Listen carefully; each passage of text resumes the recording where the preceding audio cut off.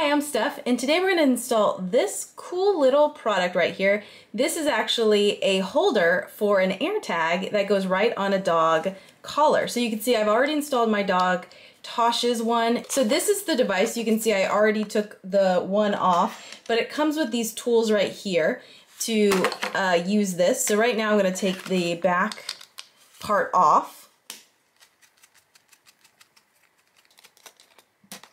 And so what's cool is these screws right here, they have a little pointy tip and that's how you're able to push them through the dog collar. And these work on most collars. And here are the instructions. They're really easy to follow. It does say on here, um, it doesn't work for anything thicker than this right here, but it worked perfect on Tosh's. So I wanted to show you how it works because it's really nice. And these are actually waterproof, so I should be able to um, wash them so what I'm going to do is put the AirTag in here now. And I'm not going to go into too much detail about what an AirTag is. Uh, you can definitely look it up on Apple's website. But this is just a little extra security. You know, they already have their names on their tags and information on, you know, they have ear tags. Greyhounds have ear tattoos, so their information is in their ears as well. But this is just an extra little security that's not a big deal to just add to their collar. So that's why I did it.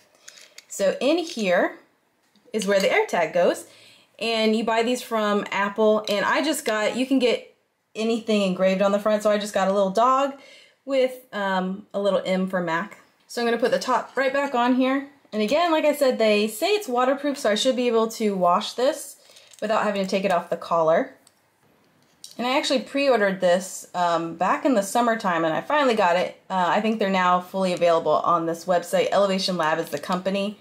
And so I wanted to share this because it actually is the best dog collar attachment I've seen for, for Apple AirTags. This is ready to go. Now I'm going to get the collar here and I'm going to place it in the same location that I placed Tosh's because I feel like it was a good location. But you can really put anywhere on the collar. So I'm going to put it around here. All right, so you grab this piece here and you put the screw through it. And again, it has a little point to be able to go through the collar and find a location kind of in the middle. And I'm just going to start screwing it in and it's going to start to pop through. And I'm going to just make sure it's secure.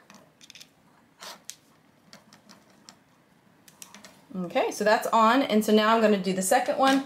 And I want to make sure it is lined up here. And I'm just going to keep screwing it in here.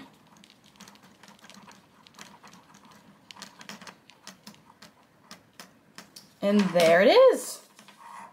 So it is now on the collar. This is a just a standard collar I got from Hollywood Feed for both the dogs and you can see there it is. So now I'm going to put it on both the dogs so you can kind of see how they like it. Yeah, there we go. Good girl. They're good. Good girl. There it is on Mac.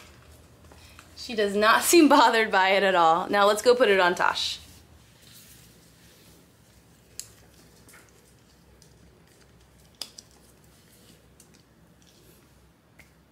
There we go. What do you guys think?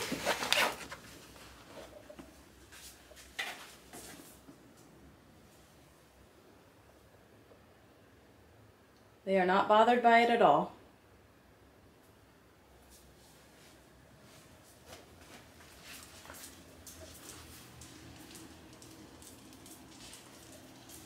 So now on my phone I have Mac and Tosh listed and if I needed to, if they were away from me, I'd get an alert on my phone saying that they were gone and it would give me a location of where they are. I could also play a sound if I wanted to know where the dogs were. Um, I can also hit find and I would be able to find them if they were generally close to me. And I can get notifications when they're they're away from me. And then lost mode, I can hit it to say that they're lost if they've been lost. And any Apple device nearby will help find find them, which is uh, which is a nice feature.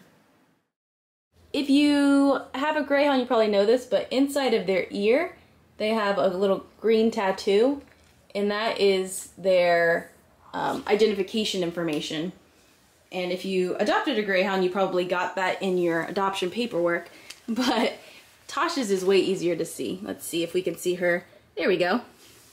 So one ear has one set of numbers and the other has another and it refers to different items. I can't remember what it all refers to, but yeah, it's hard to see it, but it's in there in both ears. All right, I hope this was helpful. Have a great day.